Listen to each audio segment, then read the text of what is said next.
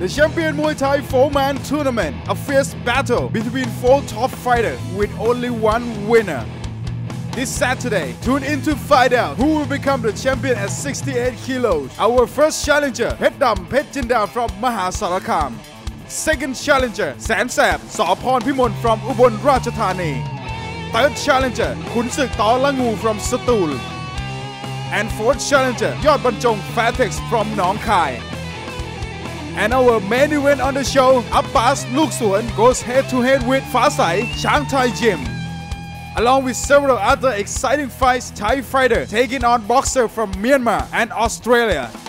Who will become the 68 kilo champion? Tune in on Saturday, the 14th of April at 7:20 p.m. Catch all the action on the Max Muay Thai online. Visit maxmuaythai.com for more information. Feel the thrill, feel the power. There can be only one champion.